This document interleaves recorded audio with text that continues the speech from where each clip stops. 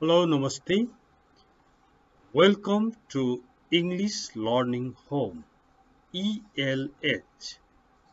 English learning होमको profile picture यो हो र युट्युबमा तपाईँले यो पिक्चर हेरेपछि थाहा पाउनुहुनेछ अब if you are new please don't forget to subscribe this channel and comment share and like Now let's see the lesson.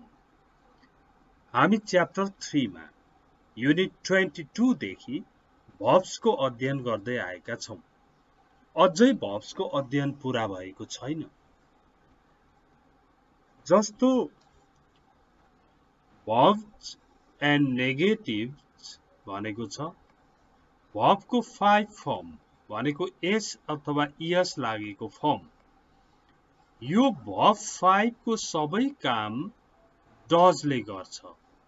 त्यसकारण एसइएस लागेको भबको नेगेटिभमा डजन्ट प्लस भब वान हुन्छ जस्तै गोजको नेगेटिभ डजन्ट गो हुन्छ।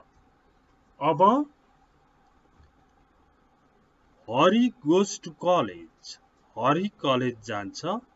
Hari doesn't go to college. Hari college जाँदैन भयो।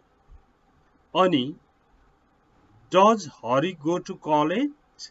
भन्यो भने चाहिँ हरि कलेज जान्छ त भन्ने अर्थ लाग्छ। अब एसइएस लाग्ने बित्तिकै नेगेटिभ बनाउनु पनि र क्वेसन बनाउन पनि डजको प्रयोग नै आउँछ। नेगेटिभमा डजन्ट हुन्छ क्वेसनमा डजलाई अगाडि राख्ने काम हुन्छ। जस्तो हि इट्स मिट ऊ मासु खान्छलाई ऊ मासु खाँदैन भन्नु पर्यो भने हि डजन्ट इट मिट भन्नुपर्छ र मासु खान्छ त भनेर सोध्नु पर्यो भने डज इट मिट भनेर सोध्नु पर्छ। जस्तै यहाँ हेर्नुहोस्। हि सिङ्स अ सङ ऊ गीत गाउँछ he doesn't sing a song ऊ गीत गाउँदैन अनि क्वेसन बनाउन does he sing a song ऊ गीत गाउँछ त हुन्छ अब फेरि हेर्नुहोस् सी प्लेस द गिटार उनी guitar बजाउँछिन् she doesn't play the guitar उनी guitar बजाउँदिनन्। Does she play the guitar उनी गिटार बजाउँछिन् त भनेर बनाउनु पर्छ। ओके? अब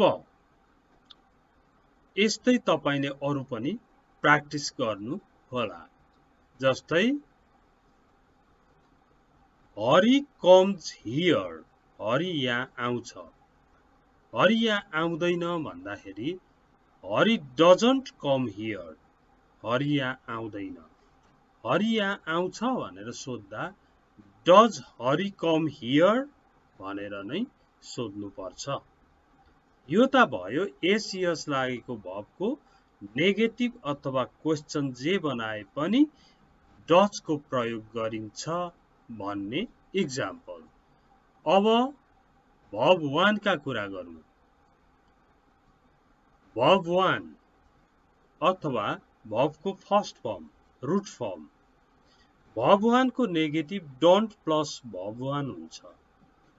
जस्तो गोको नेगेटिभ डोन्ट गो हुन्छ। अब तपाईँले I go to college in the morning म बिहान कलेज जान्छु भन्नुभयो। म बिहान कलेज जान्न भन्नु पर्यो भने I don't go to college in the morning म बिहान कलेज जान्न भयो। अब दे स्टार्ट अ बिजनेस तिनीहरू व्यापार सुरु गर्छन् भयो। They don't start a business तिनीहरू व्यापार सुरु गर्दैनन् भयो। अब तिनीहरू व्यापार सुरु गर्छन् त भनेर सोध्न मन लाग्यो भने डुको प्रयोग गर्ने। Do they start a business भनेर बनाउने। यसरी भगवान हुने बित्तिकै डुको प्रयोग हुन्छ। आई वी देसँग भगवानै लाग्छ प्रेजेन्ट टेन्समा अब आयो भब टूको कुरा। भब टूमा भब्स एन्ड नेगेटिभ्स भनेको छ। V टूको negative didn't plus V one नै हो। अब यसलाई तपाईँले डिडन्ट अथवा डिन्ट डिन्ट भन्नुभयो भने राम्रो हुन्छ। Didn't didn't plus verb one हुन्छ भब टूको नेगेटिभ त्यसो हुँदा वेन्टको negative didn't go didn't go हुन्छ। वेन्ट भनेको गयो हो भने डिन्ट गो भनेको गएन हो। ओके र भब टु चाहिँ सिङ्गुलर अर प्लुरल सबै सब्जेक्ट्सहरूसँग भब टु नै हुन्छ र नेगेटिभमा डिन्ट प्लस भब नै हुन्छ। Hari went to India Hari India गयो भयो। Hari didn't go to India Hari India गएन भयो गयो भनेर सोध्न मन लाग्यो भने यहाँ डिट लगाएर did Hari go to India Hari India गयो त बनाउन सकिन्छ number two I saw at the airport मैले उनलाई एयरपोर्टमा देखेँ अब देखिन भन्दा didn't see बनाइहाल्नुपर्छ। I didn't see her at the airport मैले उनलाई एयरपोर्टमा देखिन। अब Sabi invited me in her birthday party सबीले मलाई उनको बर्थडे पार्टीमा निम्तो गरिन्। गरिनन् भन्दा डिन्ट इन्भाइट हुन्छ। किनभने यहाँ भिटु छ। Sabi didn't invite me in her birthday party सबीले मलाई उनको बर्थडे पार्टीमा निम्तो गरिनन् निमन्त्रणा गरिनन्।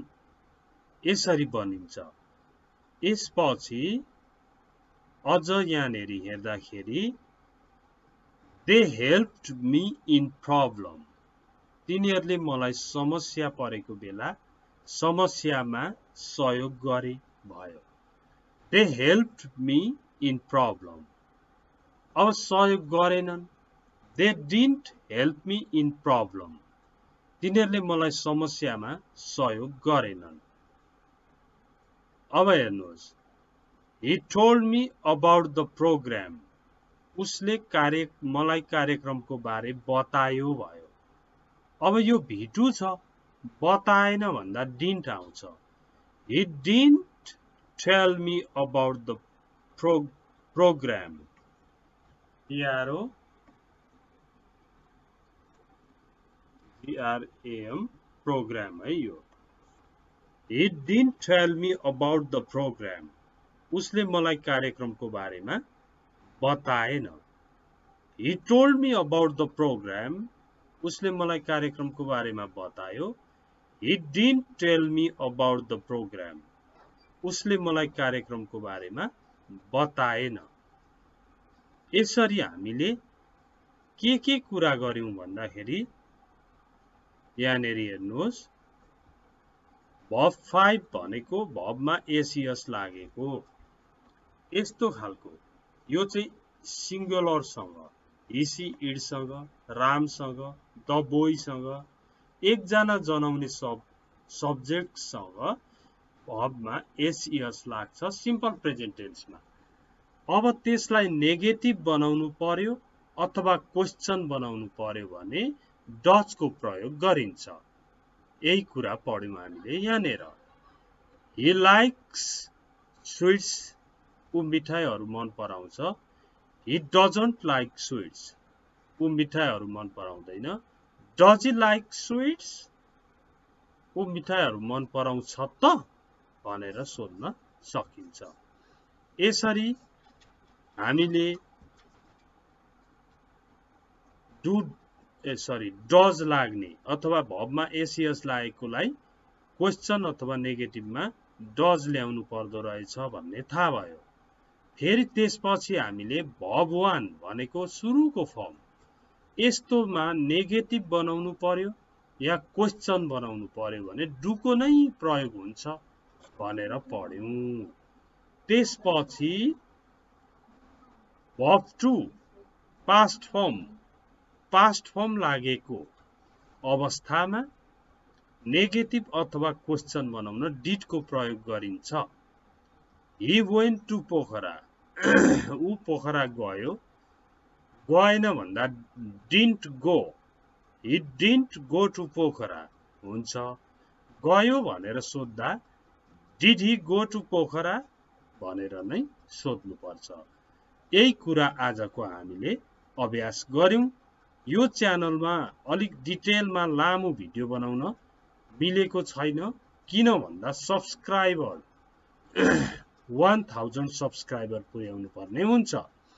यसको लागि हजुरले सब्सक्राइब गर्न सेयर गर्न चाहिँ नभुल्नु होला thanks for watching this video see you next time bye